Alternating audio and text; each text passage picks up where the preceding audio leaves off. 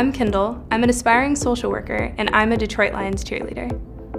My parents are from Detroit and Columbus, Ohio, so I've split a lot of my time between both cities. I have two siblings, a brother and a sister.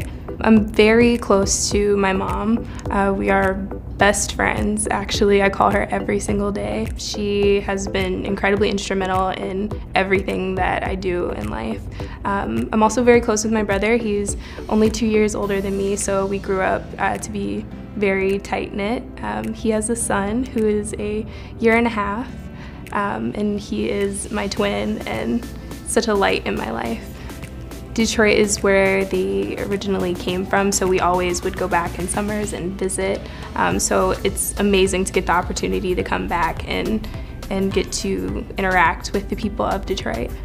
So right now I am studying social work at the University of Toledo um, with a focus on disability studies.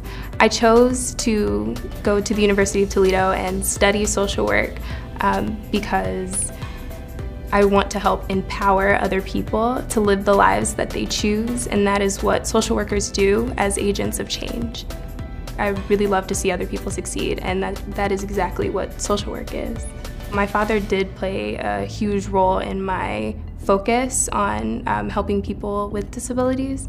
Um, getting to see him as I, I've grown up face very unique challenges has given me a, a very interesting perspective and it's wanted me to help people in the same situation as he has been in, being a naval veteran. I believe that I've helped my father with his disability over time by keeping him active. So being in dance and cheerleading and swimming throughout the years has really encouraged him to be right there alongside with me, um, getting better and working on his mobility.